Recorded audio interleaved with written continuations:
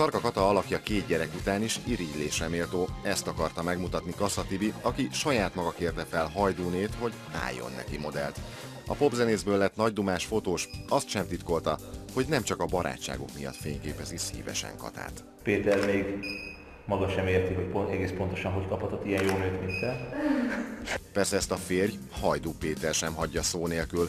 A Frisbee műsorvezetője tudja, hogy megbízhat feleségében, és bármit is tenne Tibi, nem tudná Katát elhódítani férje mellől. Hát a remény hal meg utoljára ezt üzenem Kossza Tibinek. E, nyilván megpróbált olyan fotókat készíteni, amit látszik a feleségem melle, és utána jópofán elküldte nekem, de nem voltak olyan durvák. Mondták, hogy Tibi szeretett volna durvá fotókat, de ő nem engedte. Kassa Tibi szerint azonban Hajdú alig leplezetten, de tart tőle. Ennek jele, hogy folyamatos kontroll alatt tartotta őket a fotózáson. Péter azt mondja, hogy ő nem féltékeny, de én egészen biztos vagyok benne, hogy az. Hát én, hát azért a fotózás folyamán itt folyamatosan jöttek az SMS-ek, tehát azért már finom feszülés, finom nyomás alá igyekezett a Péter helyezni a stábot, hogy küldjünk egy pár fotót. Tehát azért érzem, hogy azért, az, azért dolgozik benne az alfa hím. Mielőtt azonban még bárki félrejteni a helyzetet, tudni kell, hogy Kassa és Hajdú imádják zrikálni egymást. A szópárbajt korábban a Frisbee műsorvezetője kezdte. Aki ismer engem és a Hajdút, azt pontosan tudja, hogy, hogy mi köztünk egy ilyen folyamatos meccs van. Mögöttem Kassa Tibi, éppen Murányi Marcel nyal. Nyilván azért, hogy bekerüljön a Blikba a legújabb nótájával vagy videoklipjével. Péter az, aki elkezdte rólam elhíreszteni például a neten, hogy én nem csak egy énekes vagyok, hanem ő most már mint énekes, táncos és modellt emleget a saját Facebook oldalán. Az elkészült fotók azt bizonyítják, hogy Tibi ezúttal visszafogta magát. A képek nem lettek sikamlósak. Semmi olyat nem fotóztam a Katával, semmi olyan extrém dolog nem történt meg, mondjuk amit a saját hugommal nem fotóznék meg. És ebből remélem nem úgy fog kijönni, hogy Kassa TV annyira beteg, hogy még a saját hugát is vetközteti.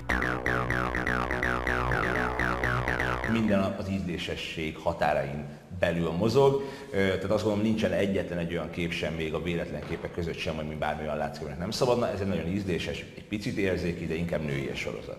Az is kiderült, hogy a Nagydumás Tibi mégiscsak érző szívű, a lelkén viseli Kata sorsát, ezt a fotózást például egyfajta személyiségfejlesztő tréning javasolta.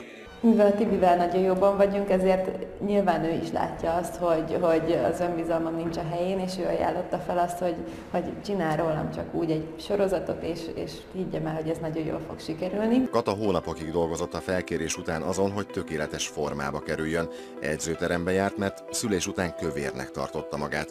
Végül egy rossz májúnak szánt internetes fórumbejegyzést nyugtatta meg. Küzdöttem és koplaltam, és, és, és egyre mentek le a kilók, és egyszer azt, azt olvastam a fórum hozzászólások között, hogy ez az anorexiás fiacsa, és ez nekem annyira jól esett.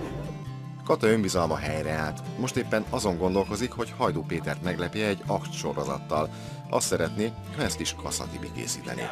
Gondolkodtam rajta, hogy a Petinek csak egy ilyen kis házi sorozatot majd elkészítek, vagyis elkészítetek Kasszatibivel, de még, még sem a Tibit nem sikerült felvennem, sem a Petit. Legutóbb, amikor ilyen belső használatra szánt fotók készültek Katáról, akkor egy tévedés miatt nyilvánosságra kerültek.